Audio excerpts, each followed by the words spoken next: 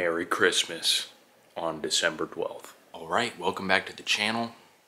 We're back with another back day, and I could not be more excited because it's been a minute since I filmed a back day, and back is one of my favorite things to train because there's so many different muscles in the back that you can focus on, and it really takes a lot of concentration when you're training back to completely stimulate the full entire back because a lot of people will go in they'll isolate maybe just their upper back they'll really feel it so they'll just do all upper back exercises i was the complete opposite when i first started i only felt my lats during back day so i just did a ton of lat exercises and my lats are really overdeveloped so i've been trying to bring up my upper back so we're definitely going to start with a couple upper back movements. One of my favorites is the chest supported dumbbell row. Can't wait to hit that shit. Just here to document the highlight of my day, training back. It's like 13 days till Christmas, a little under two weeks. And you know, Chris, that Christmas refeed is going to go absolutely insane. I'm just thinking about that post-Christmas pump because it's going to be, it's to be crazy. Let's not focus on the future pumps the only pump, the only pump that matters right now is the back pump. Just posted up next to the Christmas tree. This may sound basic to say, but Christmas is easily my favorite holiday, maybe besides Easter. Easter hits different because deviled eggs, guys, I eat deviled eggs every time on Easter and they hit different. So actually I'll probably be in prep during Easter, so I can't eat those, but you know, it's all good You gotta sacrifice the deviled egg sometimes to get shredded. But yeah, I'm um, almost done with this mini cut. I got like five more days left.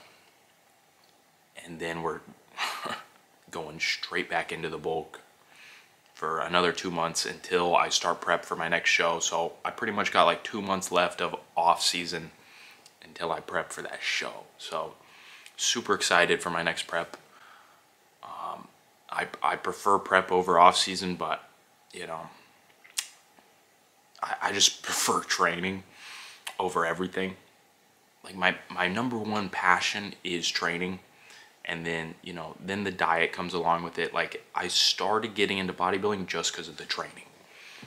And then you realize, oh, the nutrition's just as important. And then you get super passionate about your nutrition, your macros, your micronutrients, and then all your minerals, vitamins, all that stuff.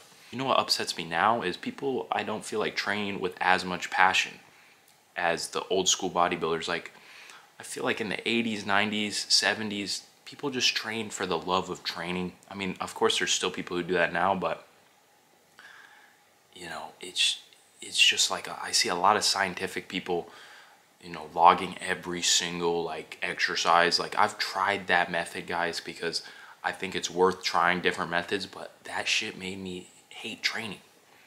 Like I just love just going into the gym and training as hard as I can, not worrying about like, oh, I need to track every single number. I just train to stimulate new muscle growth. I train to annihilate the fucking muscle. And I just train with passion. That's that's the number one thing you guys have to start doing is passionately training. I personally feel you're going to grow the most amount of muscle with the training style you enjoy the most. So if you enjoy, you know, logging all your workouts and that's what you're passionate about, then keep doing it. But for me, it's not that, it's not that.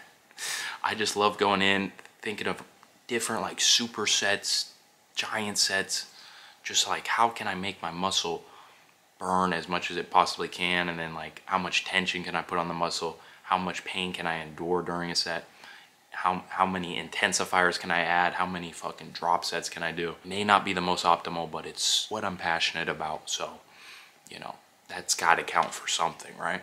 But yeah, honestly, I could fucking yap all, I could yap for a really long time. And I need to save some of this camera battery for the working sets. I'm gonna film probably just one top set from every single exercise, maybe two. And then I'm gonna you know, film the pump check after the workout. This back pump's probably gonna be crazy. Definitely gonna be crazy. I don't even know why I would use the word probably. I know for a 100% fact that this pump is gonna be stupid. like you're gonna think my pump has a disability. That's how stupid it's gonna be. In all honesty. So, yeah, let's, let's get in the fucking whip. Let's get in the truck and drive to my favorite place.